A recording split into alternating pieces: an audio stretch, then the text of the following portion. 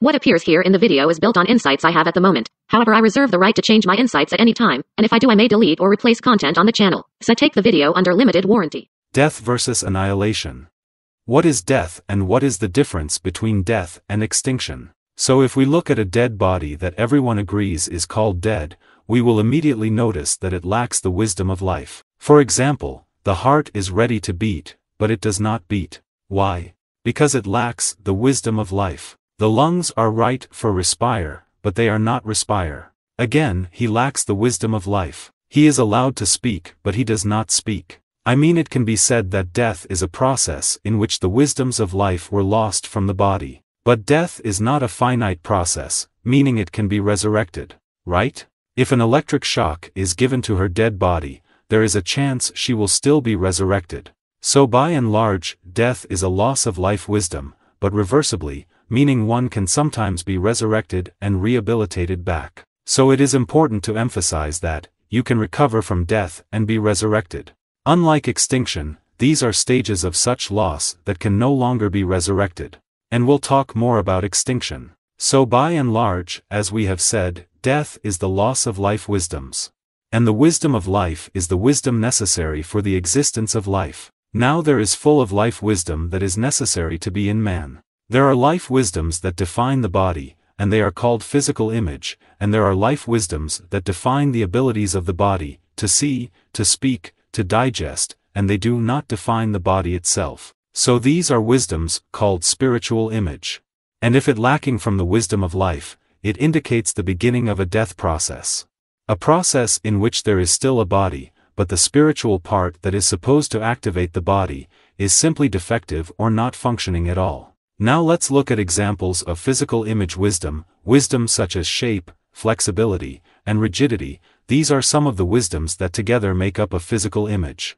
And there are wisdoms that define additional abilities of the body, such as speech, thinking, moving, and recovery. These are wisdoms that do not define the body itself. Now in a dead body, one can see that the physical image is still there, the shape is still there, and the skin is still supple at first, so if not much time has passed, then one can try to give an electric shock and awaken it to life. So it turns out that in the dead body the whole problem is in the spiritual image, because the spiritual image is simply missing and not functioning. From this I deduced that a lack of wisdom from the spiritual image, is called death, while a lack of wisdom from the physical image, it is already called extinction. Now even in extinction, there are losses that can be recovered from, as one recovers from an illness, for example a loss of shape.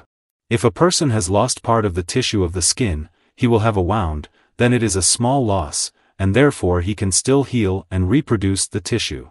But there are losses that if they come, then they can no longer be recovered. For example in a shape loss, then if you lose a general loss, like a whole limb, hand or leg that has been completely cut, or if you lose a feature such as the elasticity feature, i.e. if the elasticity of all skin or muscles in the body disappears, there is already a loss that cannot be healed. So there is a death that is such a terminal death that there is no going back from it, a complete disadvantage, not even an electric shock will bring it back to life, and this final death is already the beginning of extinction. And there are two types of death, there are deaths that the spiritual image do not work properly in the body, i.e. they exist but lack life wisdom, so they function poorly and incompletely, if for example a person acts like a killer, then he risks being hated to prevent further murder on his part. This is a situation where a person is called dead in his life, his life is not alive, and there is a death where the spiritual image do not act at all in the body.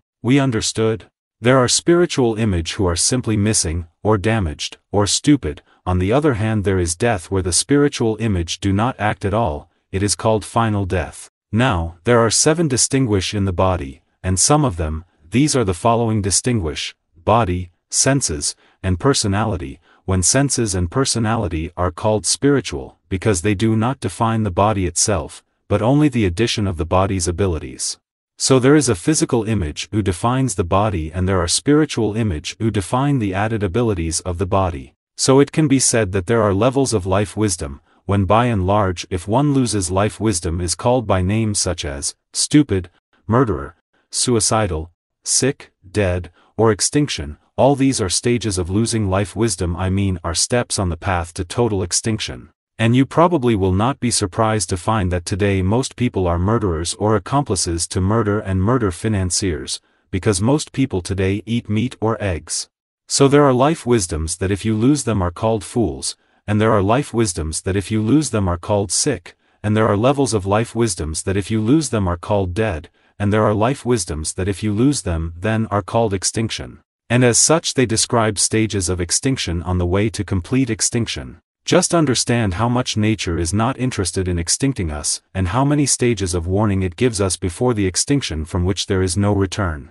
So, to sum up, there are several levels of death, and death is when one loses from the wisdoms of life, for every standard of life that descends from it, it has its own name, that is, there are different levels of death, and as we have said that in a dead body it have lacks of life wisdom but not all wisdom is lacking, and therefore it can still be resurrected. Here too, a person can act but act stupidly because he lacks life wisdom, wisdom called life links, insights into life, and although one can correct stupidity and get back to acting right, still man in such a situation is called dead.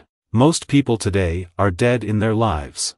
We all lack some wisdom of life, but not all the wisdom of life is lacking, so we can still be resurrected and repair our way, who will, and we will can continue to exist like earth, stones, ornamental trees, and sun. That they do not fight nature and therefore nature does not extinct them. So what did we learn?